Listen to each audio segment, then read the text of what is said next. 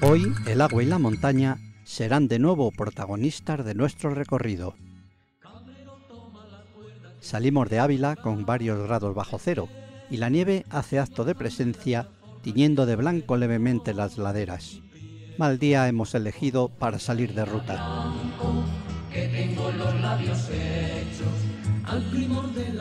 Nos dirigimos a Villanueva de Ávila y posteriormente subimos por un camino algo complicado, pero estamos con el tiempo justo y no podemos hacerlo a pie como nos hubiera gustado.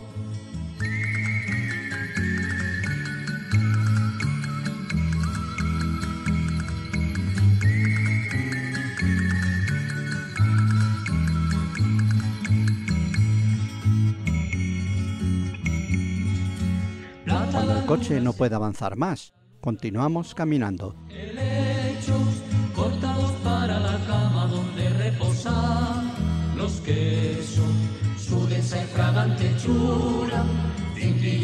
Cintillos de esparto seco, modelan por la cintura un sabor reciente y fresco. Hoy traemos un material muy especial.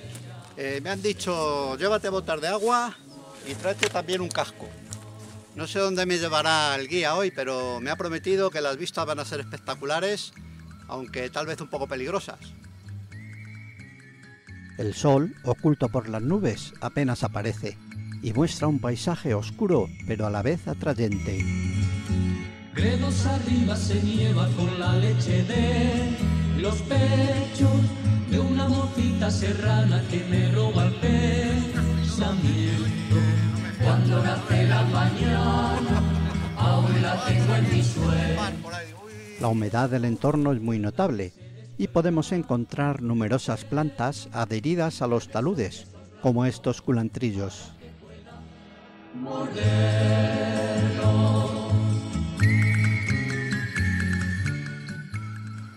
Estamos subiendo hacia unas cascadas por un camino espectacular, rodeados de robles, eh, con una humedad ambiental bastante grande y aunque el día no es muy propicio para grabar porque está muy nublado, ha empezado casi a nevar, pero las vistas por aquí son espectaculares, sobre todo a nuestro alrededor. Es la naturaleza pura. Con tu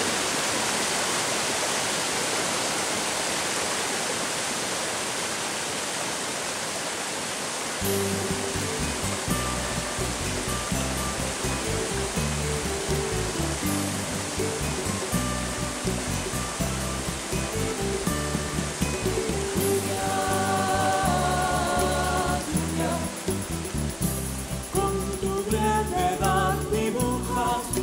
Hemos llegado a una de las gargantas de Villanueva y su espectacular cascada. El agua fluye con rapidez entre los cantos rodados y el sonido cerca del torrente resulta ensordecedor. Para hacer buenas fotos de la misma hay que meterse en medio del cauce.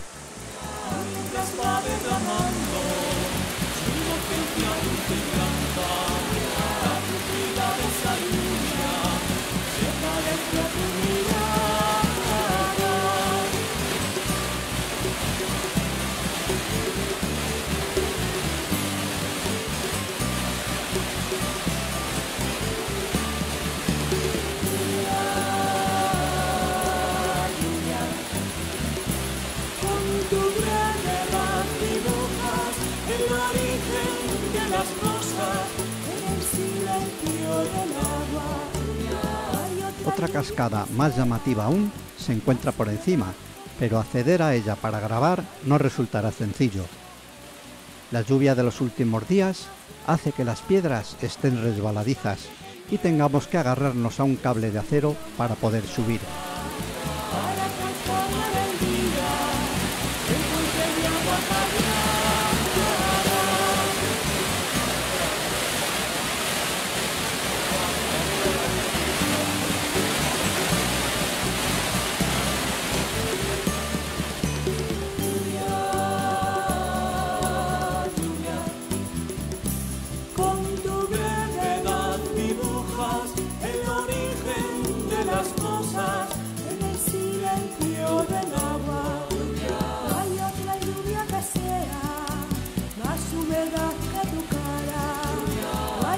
you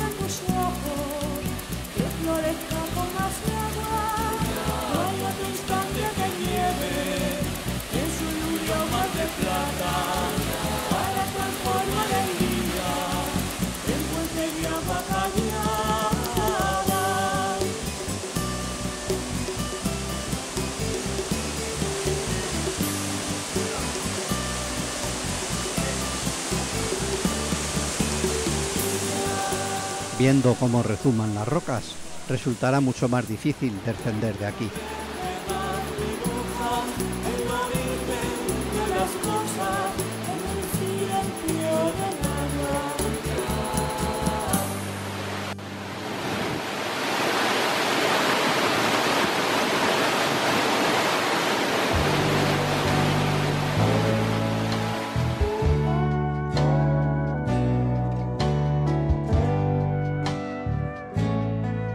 Hay varios senderos señalizados por tierras de Villanueva de Ávila. Uno de ellos nos lleva a esta espectacular construcción, fusionada de forma perfecta con el berrocal.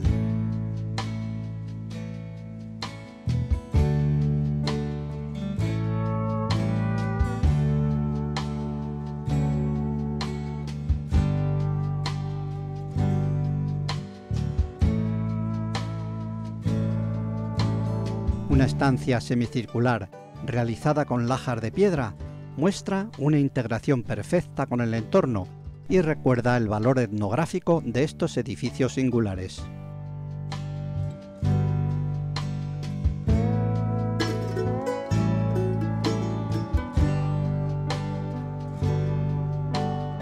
De gran valor también son estos animales cada vez más complicados de contemplar en nuestra provincia,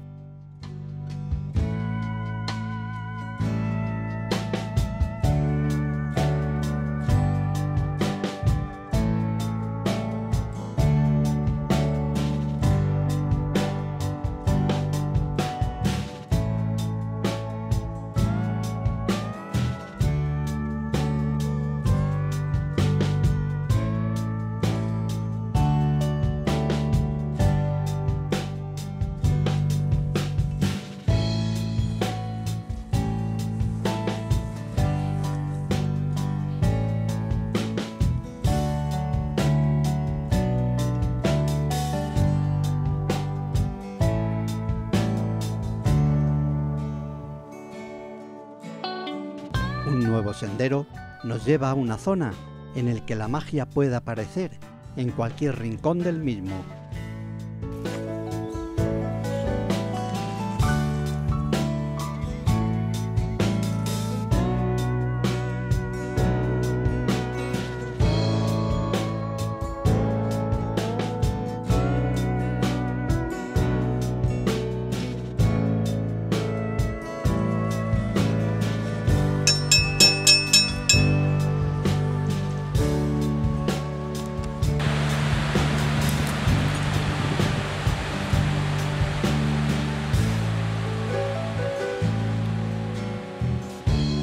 Otra torrentera y cascada, no tan alta como la anterior, pero con mayor caudal, nos hace bajar por una pendiente inclinada para poder grabar este espectacular rincón.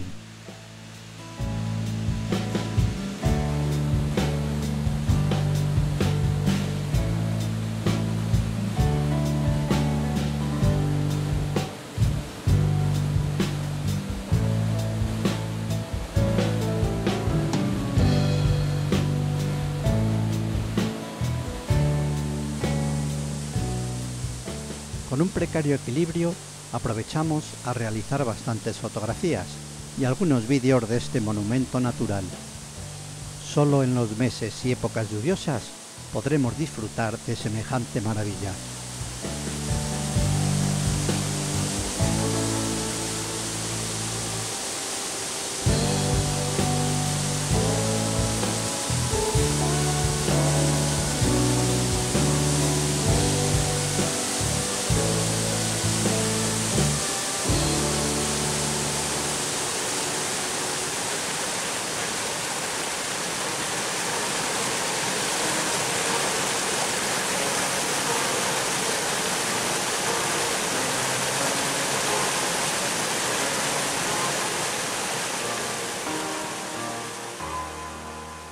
Si el agua es símbolo de vida, por estas tierras hay mucha y hay que conservarla.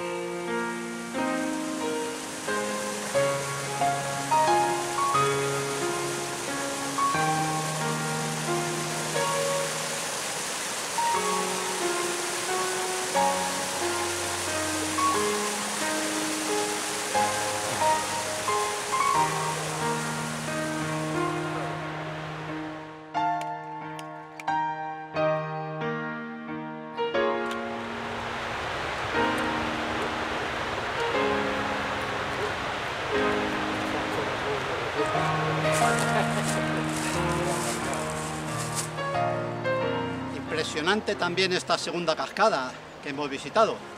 Es un poquito dura la subida porque tiene una inclinación bastante notable, pero merece la pena bajar, dar una vuelta, contemplarla y volver a subir aunque nos cansemos.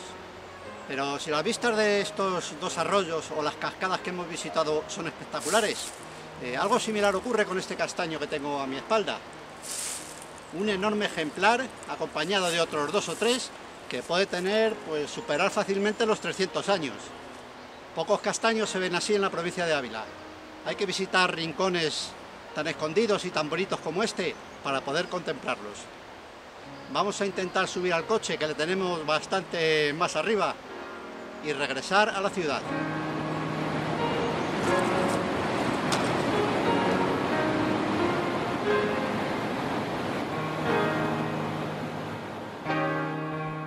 Llegar a Puente Arco, ya cerca de Burgondo, unos piragüistas nos sorprenden y paramos de nuevo para contemplar sus espectaculares descensos.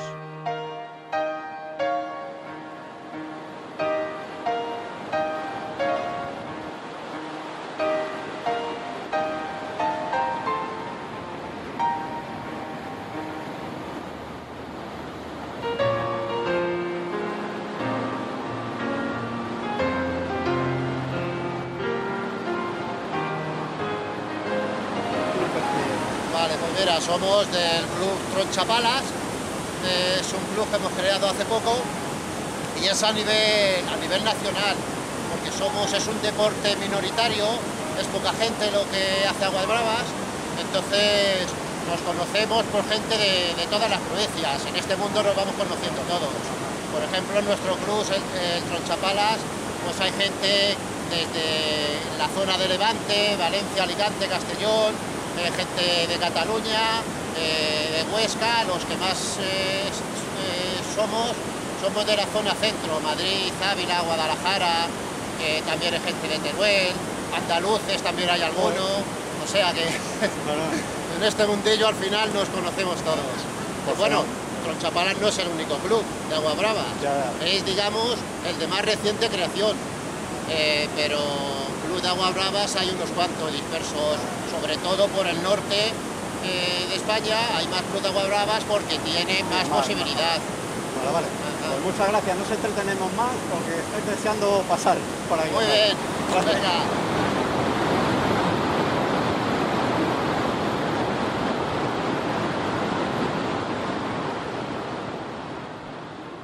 Ahora sí, regresamos a la ciudad, olvidándonos del día tan frío y solo recordando las espectaculares imágenes contempladas durante la jornada.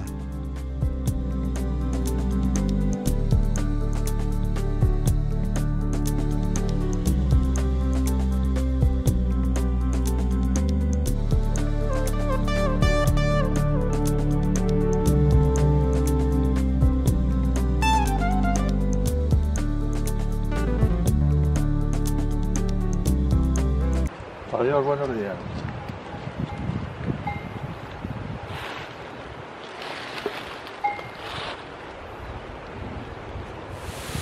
Cuidado, Vicente, cuidado.